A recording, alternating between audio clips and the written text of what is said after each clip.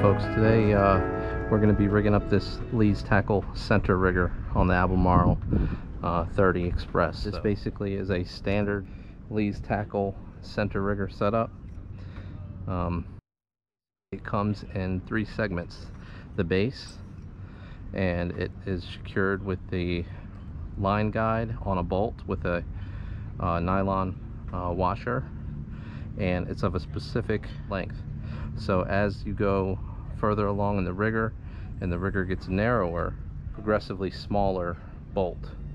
As you go up same size uh, eye guide progressively smaller bolt. Up to the tip here and uh, the last piece here is the cone that finishes off the rigger here. So once you get all that assembled you then have to string up the rigger and then mount it up into the uh, the rigger the center rigger mount which is right in the center of your uh, of your boat. We are going to go ahead and pre-string the rigger and then we're going to mount it in place and then size the line for the center rigger. All right we have our 400 pound mono. I'm going with black. Uh, i think black stays looking the cleanest the longest shows the least amount of wear.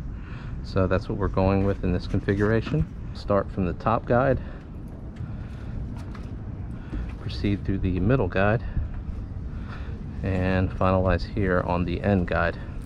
We will bring this back up the ladder and uh, get it back in the mounting position.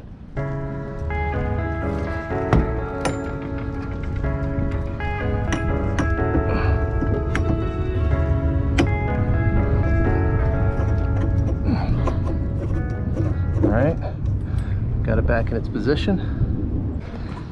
Alright folks, we've got the rigger pre-strung. We're gonna go down now and right size the rig and start putting the hardware in place. So this is what we're looking at for hardware. So, um, of course the essentials are your line protectors, your chafing protectors, your loop protectors, and your crimps. That will go on your line, fastening your 350 pound stainless steel ball bearing swivels. Of course the ball stop will go up here preventing the, your rigger line from going through the top guide and this is your outrigger clip, your outrigger release clip. Securing this to the bottom of the line is going to be a single rig Howlock on a 12 inch bungee strap.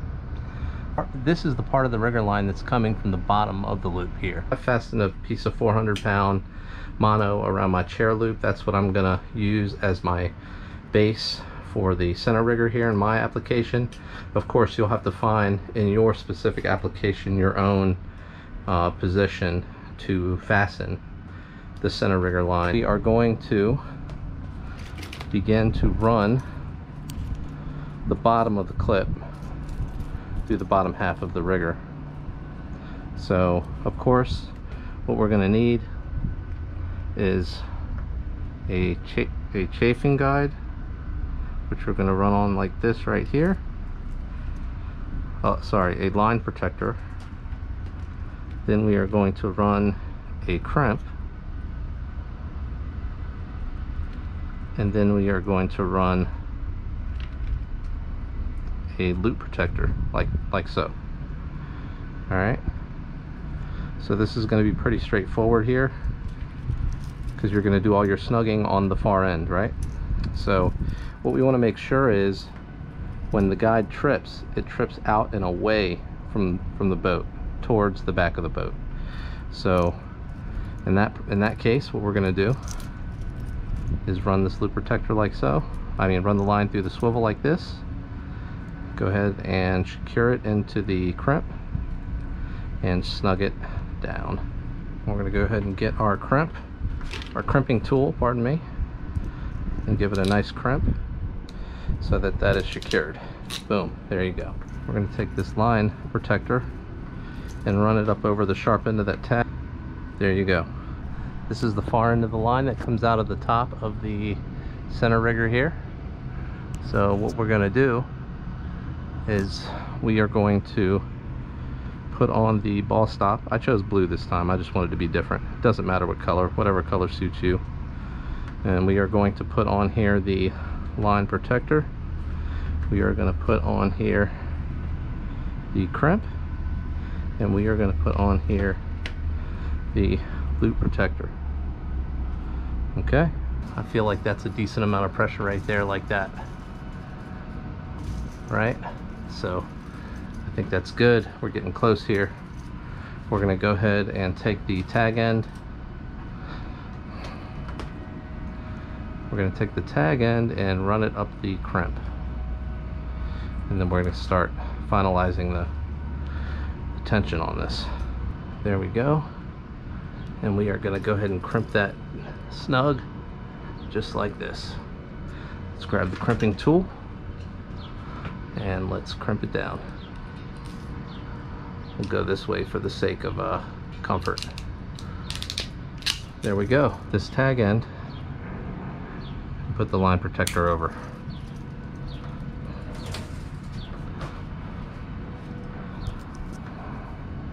All right line protector here we go.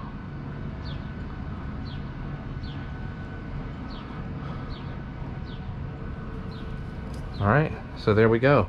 I got my anchor point which is this is very unique to my boat this anchor point. Of course you'll have to find the anchor point for your center rigger that meets your purposes. So here's the 12 inch how lock on a bungee and it locks like this locking action. So once you extend this you can lock it in place. All right folks so in my application of my center rigger which runs all the way up to the center there so this is the center rigger right here. So it mounts up here underneath the uh, underneath the tower chair and you can see here I have the rigger line running through the three guides which is here here and at the tip of the center rigger so it's 400 pound mono and it runs down here to the anchor point so for my anchor point, I'm using the, the arm of my chair. It's aluminum. I'm not gonna mess up my leather this way. I have a 300, sorry, I have a 400 pound mono uh, uh, line off here. And I'm attaching this, my 12 inch single rigged halyard. It's a Howlock style, so I could lock it in place if I want it to not move when it's deployed and then I can unlock it when I want to deploy it and as you can see here I have the line protector chafing loop 350 pound swivel outrigger release clip to another 350 pound swivel to a chafing loop protector here line protector over the crimp and a ball stop. So this is what it looks like when I go to deploy it okay? I deploy it all the way out for my long shot to the tip of the outrigger just like that. It stops at the ball. And then I come back down here to the halyard lock it in place so it doesn't get uh, pulled around by the bait or by a fish when it goes at the hook.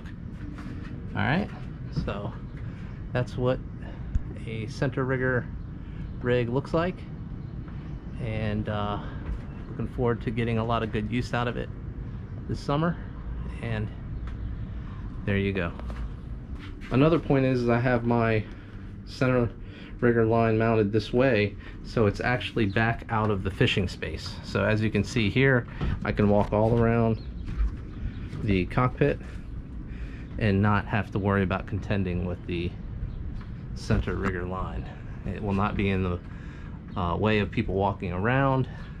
It will not be in the way of anyone uh, dancing on the dance floor here with a rod and reel. And uh, it definitely won't get in the way of uh, anyone trying to cast either. So that's why I did it this way. Hopefully this helps those of you who are uh, rigging your center riggers or thinking about getting one. And thank you for watching. Please like and subscribe if you found this helpful.